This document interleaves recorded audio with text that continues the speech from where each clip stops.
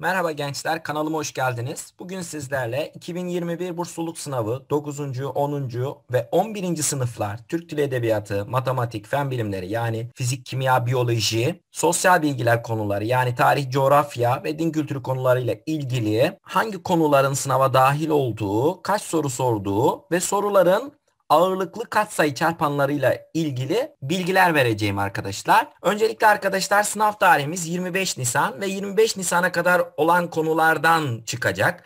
Tabii sınav ertelenmezse geçen yıl ertelenmişti. Pandemi sürecinin nasıl olacağı şu an öngörülemiyor fakat ertelenmeyeceğini düşünürsek 25 Nisan'a kadar olan konulardan olacak. Eğer ertelenirse arkadaşlar yıl sonuna bütün konulardan da dahil olunabilir. Biz 25 Nisan'a kadar konuları şimdi sizlerle birlikte bir bakalım. Öncelikle arkadaşlar edebiyattan, matematikten, fizik, kimya, biyoloji, tarih, coğrafyadan toplam 25'er sorudan 100 soru oluyor arkadaşlar. Sizlere sevgili gençler önerim son 5 yılın çıkmış sorularını çözmeniz. Son 2 hafta her gün çıkmış sorular çözmelisiniz. Lisede giren sayısı az olduğu için kazanma şansınız daha yüksek ve sorular 9. sınıf müfredatından geliyor.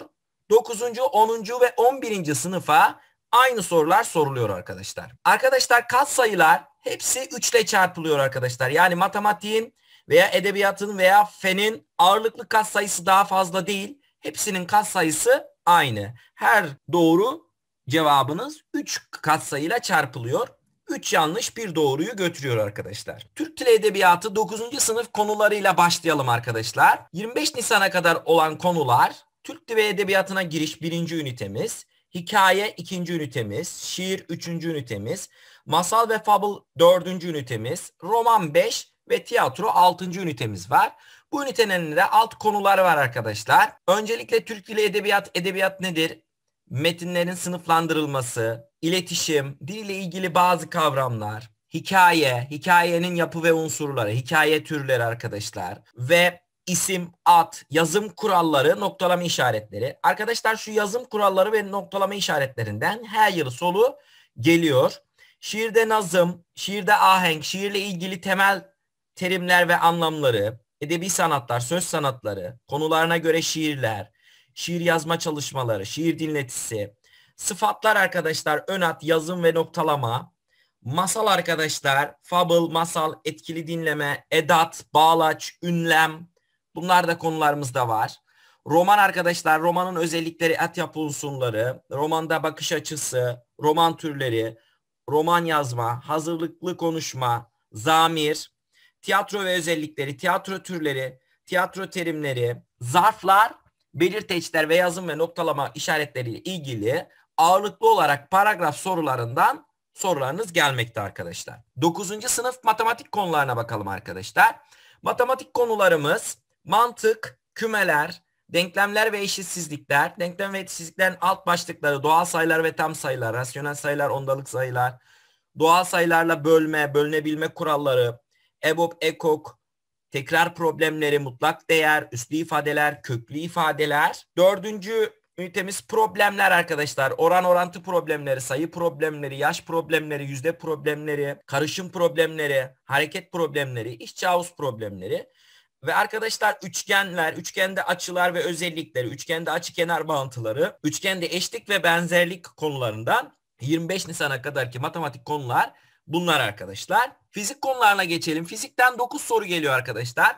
Fizik bilimine giriş, madde ve özellikleri, öz kütle, dayanıklılık, sıvıların özellikleri, adezyon, kohezyon arkadaşlar, yüzey gerilimi ve kılcallık, hareket ünitemizin konum ve yer değiştirme, hız, düzgün doğrusal hareket ve grafikleri, grafik sorusu geliyor.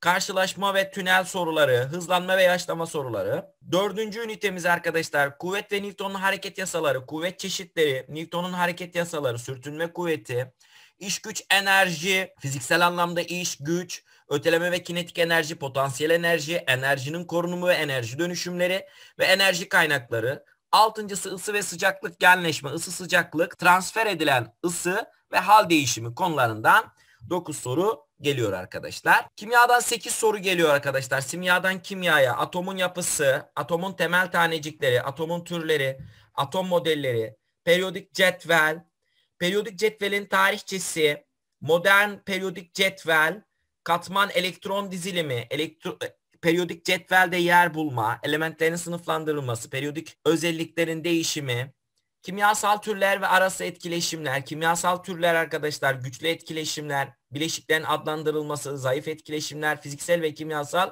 etkileşimler, maddenin halleri, maddenin fiziksel halleri, katılar, sıvılar, gazlar ve plazma hallerinden toplam 8 tane kimyadan geliyor. Biyolojiden de 8 soru geliyor arkadaşlar.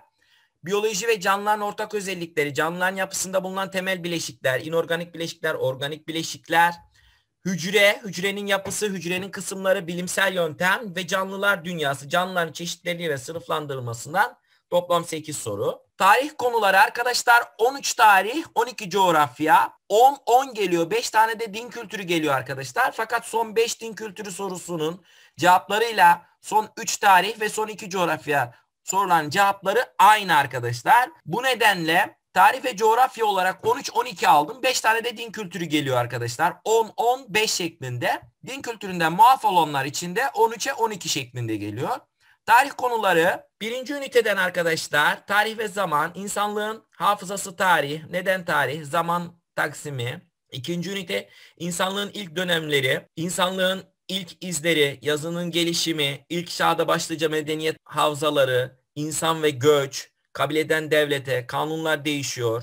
Üçüncü ünite orta çağda dünya arkadaşlar, orta çağ siyasi yapılar, tarımdan ticarete, ekonomi, orta çağda ordu, kanunlar gelişiyor.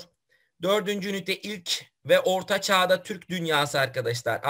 Avrasya'da ilk Türk izleri, boylardan devlete, Türklerde coğrafya ile oluşan yaşam tarzı, kavimler göçü, ilk Türk devletleri ve komşuları arkadaşlar. İslam medeniyetinin doğuşu, İslam medeniyeti, İslamiyet'in doğuşu döneminde dünya, İslamiyet yayılıyor. Emeviler ve Abbasi devleti ve Türkler arkadaşlar 25 Nisan'a kadar olan tarih konuları bunlar.